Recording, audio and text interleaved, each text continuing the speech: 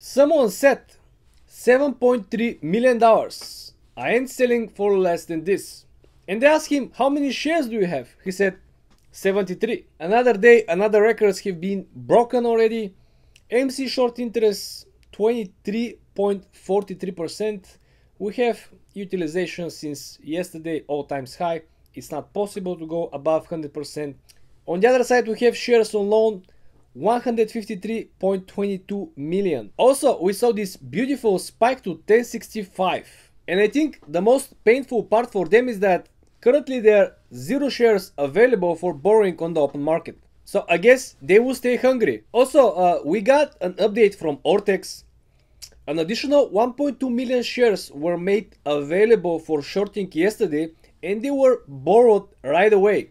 I guess this is just to prove how desperate they are. So our strategy guys remains the same. All we have to do is nothing. And yes, I don't know nothing about these shredding trucks outside. Please subscribe to the channel guys, like this video and come back for more.